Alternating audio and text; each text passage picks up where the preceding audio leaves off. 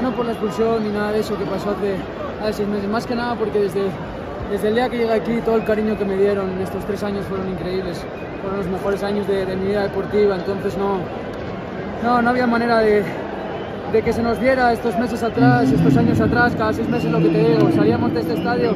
jodidos, otra vez empezando de cero, cada seis meses y hoy por fin llega el, el premio. Todos sufrimos mucho, jugadores, afición, cuerpo técnico, todo el mundo sufrió mucho y hoy lo de hoy no, no hay palabras, no hay, palabras. ¿Quieres seguir en América, Álvaro?